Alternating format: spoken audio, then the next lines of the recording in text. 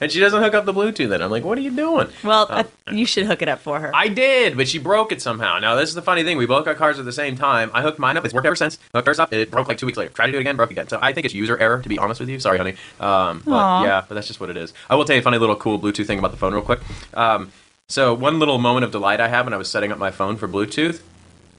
Um, you know, you can name your phone very much like you can name your yours soon. And I mean, people are showing this stuff now out. You know, people have got the uh, uh, the uh, New Zealand software built out there, like a lot of the RP. Yeah. We should about it in a little bit. But um, so anyway, I named my uh, phone there, And then when I went to pair it up with my Bluetooth in my car, it pulled the name of my phone over, so that's what's displayed on my nav screen. Sweet. Like when calls come in, it'll be like, you know, that's Windows Phone 7. Which I thought was really cool because, like, in the past, it would just say like your make and model, be like Samsung, I, blah, blah, blah. I'm like, Okay, so one of the things I love about the phone, and I think I talked about this.